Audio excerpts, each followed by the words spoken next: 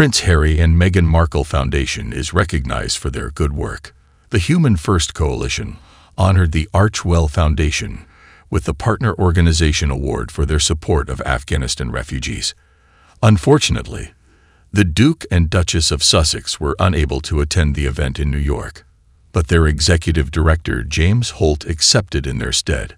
Before the event, Holt said, It's an honor to be recognized by Human First Coalition, whose steadfast work in Afghanistan has played a critical role in delivering much-needed aid and resulted in the successful evacuation and resettlement of thousands globally.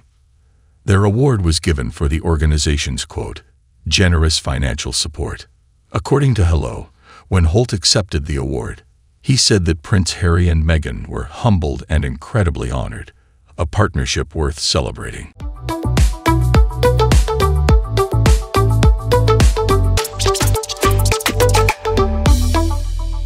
Stop.